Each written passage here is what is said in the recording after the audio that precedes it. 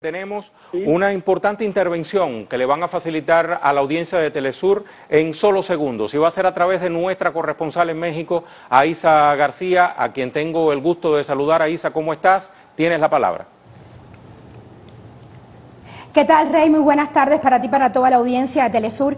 Pues al mediodía de México estamos hoy con el presidente de Bolivia, Evo Morales, quien, como sabemos, está aquí después de recibir asilo político tras el golpe de Estado en su país, golpe de Estado cívico, político y policial. Presidente Evo Morales, un gusto estar con usted. Queremos hacer, eh, conversar sobre lo sucedido en Bolivia y hoy lo que está pasando. Los movimientos sociales están tratando de recuperar la ciudad, la Plaza Morillo, están en contra del golpe de Estado. ¿Cuál es el mensaje para ellos? Bueno, muchas gracias. Primero saludar por esta entrevista como siempre, Telesur con el pueblo, con los movimientos sociales. Hace exactamente casi media hora estaba conversando con nuestros senadores, la bancada del MAS y PCP, y en ese momento dice una hermana senadora, cortemos la llamada, nos está interviniendo la policía, cortemos, si no nos van a detener, cortamos la llamada. Después nos comunicamos que la UTOP, intervino la reunión de la bancada del MAS de los senadores. ¿A qué extremo está llegando la violencia, la provocación de la policía? Al estilo de las dictaduras militares de aquellos tiempos. Y con la Biblia. Además de eso, con la Biblia. Pero lo más sospechoso es tanques en las calles, en los caminos, me informan, de los helicópteros gasificando, disparando, como hace dos o tres días atrás quiero, quiero que sepa el pueblo de Bolivia, los pueblos del mundo, en nuestra gestión hemos evitado que ni policía ni la Fuerza Armada metan bala al pueblo. Hemos equipado bastante a las dos instituciones importantes, uno para seguridad ciudadana, otro para la defensa de la patria, y ahora usan armas contra el pueblo. En mi experiencia vivida, con bala, con arma, nunca vamos a resolver las demandas de un movimiento social, sindical, especialmente los, los más humildes. Me acaban de informarme los 20.000, 30.000 altos concentrados.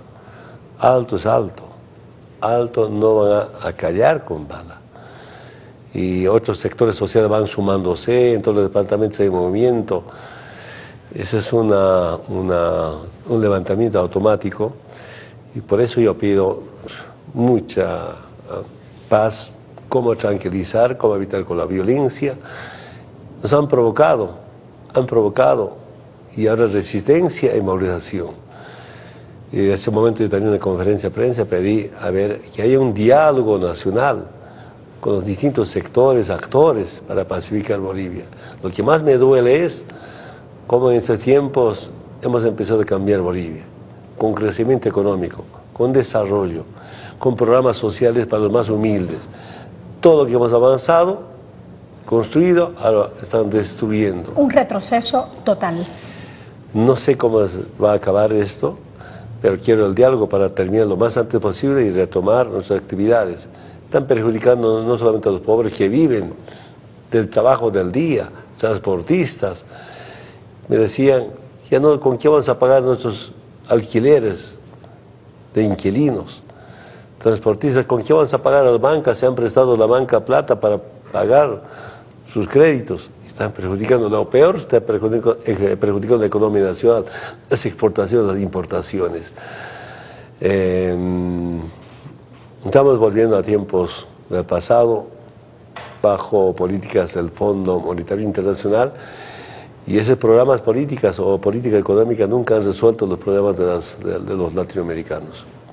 ¿Cuál es el mensaje de usted a, esto, a este pueblo que está en las calles, en el Alto? Y como usted dice, en el Alto no se van a parar. Mira, Alto en cabeza, todos los sectores sociales deberían encabezar con el pueblo alteño. Casi todos están movilizados. Me informan el bloqueo de caminos a nivel nacional, paro general indefinido.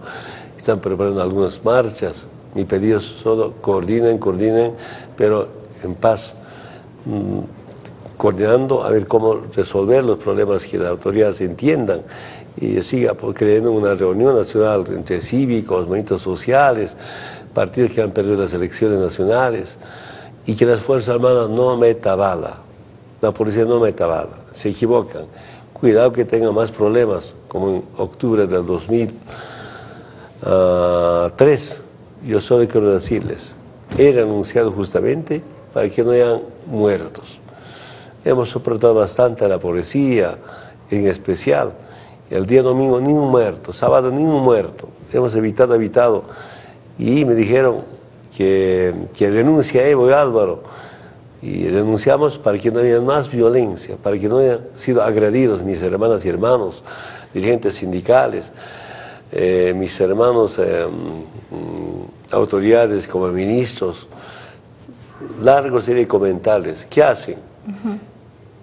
Van a la casa de una familia que es militante del MAS, es dirigente sindical, o es autoridad local o departamental o nacional como asambleístas. Después dice, si tu papá no habla contra Evo o no renuncia, quemamos tu casa y te quemamos a vos. Quemar al ser humano. Esto es total sicariato. Ustedes saben que han quemado la casa de mi hermana estaban saqueando, saquearon mi casa. Los vecinos se separaron para que no queme mi casa. otro, igualmente separaron, organizaron en otro barrio para defender y evitar que vayan quemazones de en sus casas. Hablando de sus casas, de su familia, ¿cómo están sus hijos? ¿Su familia está bajo resguardo? Está con cierta seguridad. Saludo a algunas embajadas que dieron momentáneamente, estamos preparando, estoy preparando cómo sacarlos la familia, como siempre, llora, que llora, está miedo de comunicarse, pero está con vida felizmente.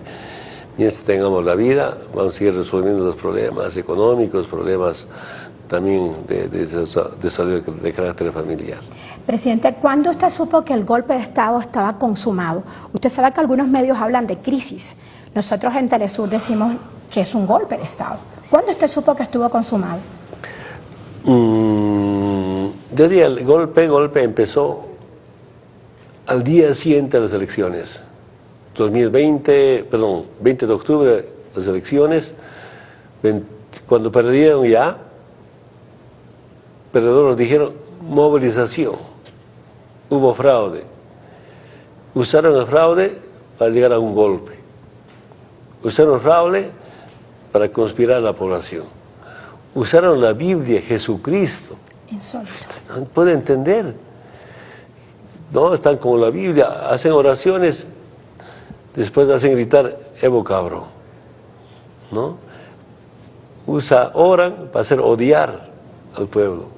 Usan la Biblia para, hacer, para despreciar y para discriminar. Y hacer patear a las mujeres más humildes que andan con pollera en Cochabamba, en Santa Cruz y en otros departamentos. ¿Quiénes son los responsables de esto que está pasando ahora? Comité Cívico de Santa Cruz y también el candidato perdedor, Carlos de Mesa, que públicamente dijo, movilízase frente al fraude. Más bien, la denuncia de fraude es el verdadero fraude. ¿Qué fraude? Eso nunca, nunca.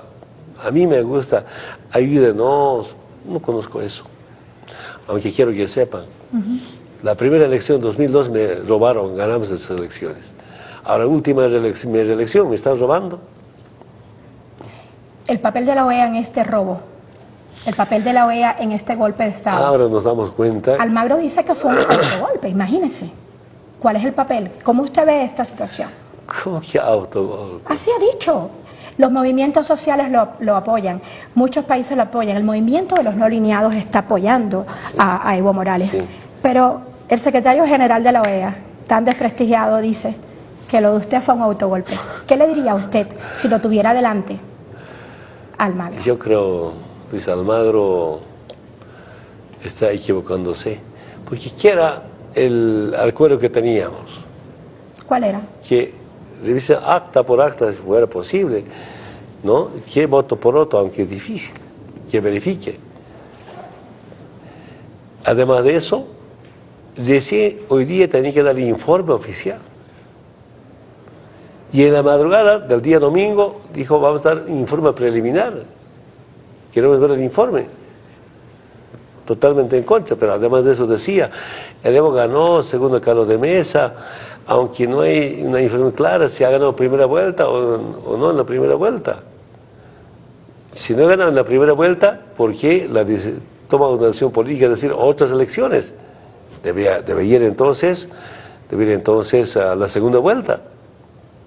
Esto demuestra que hay una decisión política y no una decisión técnica. Eh, tengo información que también hicieron una, una auditoría interna y somos ganadores. Siempre ha habido algunos problemas, va a haber problemas, pero hemos ganado las elecciones en la primera vuelta. Eh, presidente, ¿usted puede comparar eh, lo que ha ocurrido en Bolivia con lo que está ocurriendo ahora mismo en Chile? Bueno, allí es totalmente diferente, que yo sepa, aunque no tengo mucho que comentar. Es un derecho al pueblo. Eh, en nuestro caso, es una conspiración política, pero también económica. Aquí en Bolivia es... Económica, para quedarse con los recursos naturales de Bolivia. Claro, nuevamente que vuelvan las privatizaciones, nuevamente eh, se subaste el patrimonio del pueblo boliviano, nuevamente en transnacionales que solamente los bolivianos se queden con 18% y las petroleras internacionales con 82%. Adelante, sí, hemos terminado eso y por eso también hemos mejorado nuestra economía. Eh, digo esto porque mm, esta conspiración es parte de una lucha de clases, me di cuenta de eso. No aceptan que un indio con su equipo puede cambiar la situación del pueblo boliviano. No aceptan que nosotros implementamos programas sociales, políticas económicas con nacionalización, que la redistribución de la riqueza nos ayuda bastante, bastante para reducir la pobreza que por primera vez en la historia de Bolivia, después de su fundación, 1825, de los tres años que estamos, Bolivia sea seis veces primero en crecimiento económico en Sudamérica. No había eso. Hay grupos que nos perdonan, y mi pecado es, además de eso, haber nacionalizado los recursos naturales, las empresas estratégicas. Y el pecado de fondo es ser antiimperialista, anticolonialista. Definitivamente. Y hablando de eso, señor presidente, se autoproclamó una senadora golpista, Yanin Añé, una persona que ha estado diciendo todo el tiempo, ha tenido posturas contra los indígenas, posturas racistas. ¿Cómo puede autoproclamarse ella presidente interina cuando ni siquiera el MAS, que tiene mayoría, estaba en esa elección? No había quórum. ¿Cómo usted valora lo que pasó? Mira, su derecho a ser racista, anti-indigenista, pero él, ella no respetó la Constitución. Primero, me renuncia, debe ser aprobado o rechazado en la Asamblea. No hubo eso. ¿Y eso no ocurrió? No, no pasó para nada. Y segundo, se hubiera aprobado mi renuncia. como también renunció Álvaro García Linera, entonces primero, ¿quién debería asumir la presidencia? ¿La presidenta o el presidente del Senado? Y si no quiere, también renunció el presidente de la Cámara de Diputados. Eso eh, está en nuestra Constitución. Ella es segunda vicepresidenta del Senado y aparece autoproclamada presidenta. Y lo peor aquí, acaban de informarme, Estados Unidos reconoce, Inglaterra reconoce. Entonces, mira, ¿de dónde viene el golpe? Ahora puedo pensar que el golpe viene a Estados Unidos. ¿Y esos 16 audios que se escucharon? Ah, sí. Entonces el golpe viene de Estados Unidos. ¿Y, de, ¿Y, de, qué otro país? ¿Solo Estados Unidos? Ahora, quien reconoció Inglaterra, también se puede pensar que también viene el golpe de ahí. Le llaman a a esta senadora, la Guaidó eh, boliviana, en las redes sociales, así le llaman. ¿Usted qué opina? Bueno, no... Autoproclamado. pero al margen que es Guaidó o no Guaidó, no estamos en tiempos de colonia, ni estamos en tiempos de república en tiempos de colonia, ¿quién designaba al virrey la monarquía? Caso Baidó, caso esta señora, es, fueran como designados del, rey de España, esa es nuestra situación de, sudamericanos, latinoamericanos. También quiero decirles, mm, mm, digo, en tiempos de, de, república no se tratan de golpe, de golpe de Estado. ¿Qué es este golpe? Imagínense no sé, personalidades que han llevado a esta situación, ¿en qué queda la historia boliviana? Hace un momento decía que es una cuestión de clases. Cuando nosotros estamos cambiando, cambiando Bolivia, policía se amotina y policía nos da golpe de Estado. Porque el primer golpe que el 27 29 de octubre. El segundo y el primero fracasaron esa semana. Después, lunes, martes de noviembre ya, y cuando se sumó la policía, sí. ¿Usted cree que fue el documento que distribuyó la OEA el movimiento decisivo del quiebre para esta violencia que hubo? quiero que sepan, quiero que sepan, el acuerdo que hicieron era ¿no? una, ah, para informar hoy día. Hoy día debería informar recién, porque en el documento está 12 ayer.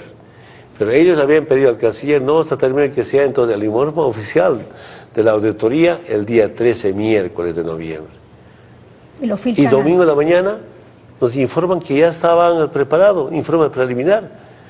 Pedimos el informe, de, informe preliminar y finalmente informe preliminar, todo lo contrario, reconoce que hemos ganado, aunque duda que hemos ganado en la primera vuelta.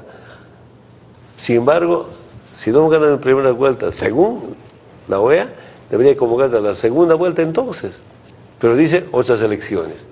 Son decisiones políticas. Decisiones políticas.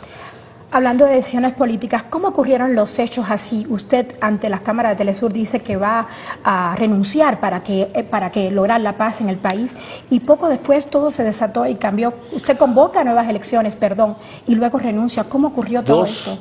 Dos veces. Primero convocamos al diálogo a los cuatro partidos que tienen representación en la Asamblea Legislativa Plurinacional. Rechazaron. Y segundo, yo dije, todo por la vida, que haya nuevas elecciones con nuevos actores políticos, que haya nuevas elecciones con un nuevo Tribunal Supremo Electoral. Sigue el paro.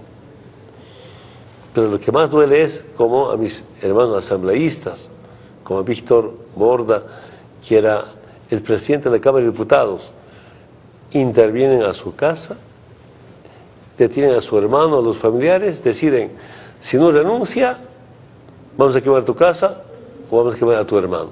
Salvajismo total. Y llama, Víctor, hermano, no renuncio, no, tengo que renunciar por mi familia, por mi casa. Lo que le hicieron a la alcaldesa. alcaldesa, aunque no chantajearon, pero aquí con esa amenaza. Yo estaba como dirigente nacional, Víctor, no, perdón, Teodoro Mamani. Dice, han intervenido en mi casa. Dirigente nacional, no del partido, sino del movimiento campesino. Agarran a su esposa, agarran a su hijita. No declara su marido contra el Evo, te vamos a quemar. Y vamos a quemar la casa. ¿Se entiende eso? Amedrentamiento. A esa clase de gobierno está avalando Estados Unidos ¿Y? la OEA? Inglaterra, la OEA. Y te acabo, esa parte hemos cortado. Saben, el día, ah, el informe que tenía que dar, hoy día recién informe oficial de la OEA, de la auditoría. Domingo de la madrugada nos informa que ya estaba, informa preliminar, para que sepa todo el mundo.